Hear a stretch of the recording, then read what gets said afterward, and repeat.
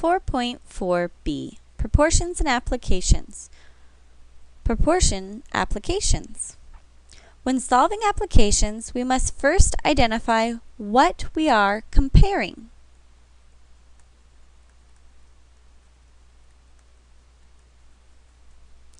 We clearly label the numerator and denominator. Of the proportion. We'll see this in example 1. Example 1. A 65 inch tall man wants to determine how tall a large tree is. He noticed at a certain time his shadow was 14 inches long. When he measured the shadow of the tree, he found it was 48 inches long. How tall is the tree? First, we need to identify what we are comparing. If we look into the the question, we can see that we are comparing a man and a tree, but really we are also comparing shadows and their real height. Let's use height and shadow.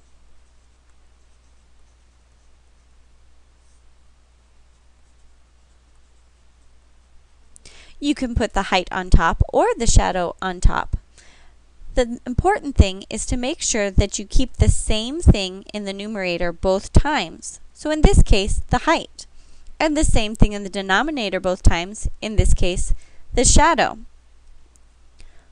We're also going to make the first for the man and the second fraction for the tree. We know that the man's height was 65 inches. We also know that the man's shadow was 14 inches. And this is going to be equal to the tree, in which we do not know the height of the tree. That is what we are looking for. But we do know that the shadow of the tree is 48 inches.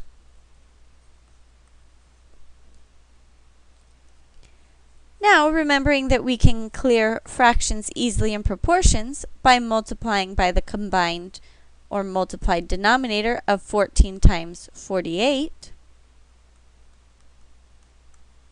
we then can reduce the 14 in the first one and the 48 in the second. And when we multiply 48 times 65, we get 3,120 equals 14x.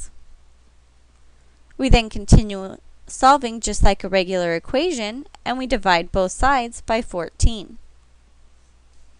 We now get x equals 222.857, which we will round to the tenths, and we will say that it is 222.9 inches tall.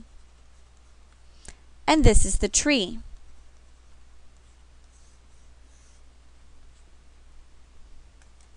Example 2 asks, a manufacturer knows that out of every 300 parts the company ships, on average 18 are defective. If the company ships 5,800 parts in a day, how many will be defective? The two things that we are comparing is how many the company ships and how many that are defective. So let's write that to the side. Ships and defective.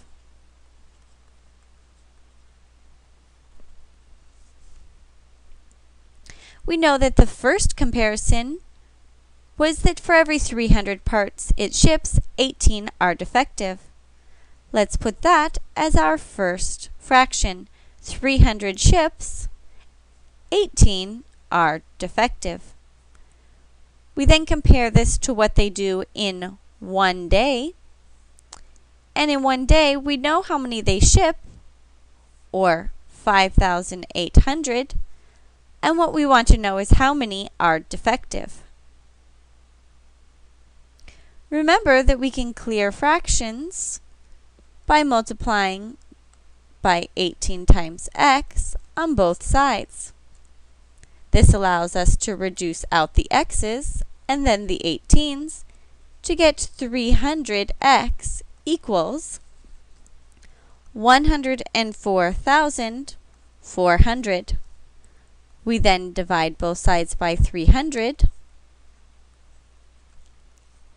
And this gives us x equals 348 defective daily.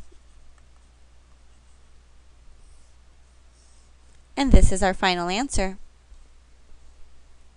Remember, when doing proportion applications, you must first identify what you are comparing, such as ships versus defective, or height versus shadow, and then clearly label these as numerators and denominators of the proportion.